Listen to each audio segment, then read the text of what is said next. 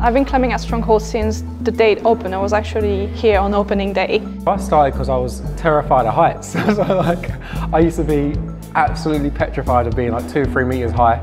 But the reason I started climbing is I don't like being scared of, of anything. It's a lot like solving a puzzle with your body, with your flexibility, with your strength. And you can sometimes interact with your partner or your, the other climbers in the room and be like, oh, how did you solve this? It's one of the reasons I climb. Like when you're climbing, you can only really think about climbing. You're just there with your friends and the wall and that's it, you know, all the other problems have kind of gone away.